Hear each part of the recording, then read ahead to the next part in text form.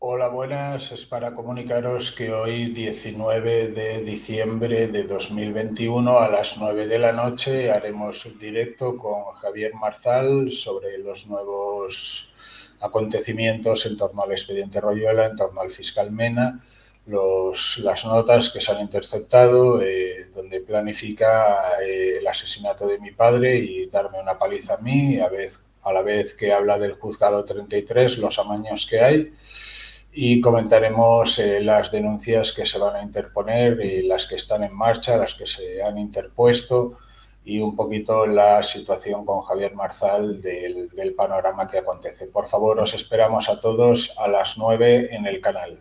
Gracias y máxima difusión.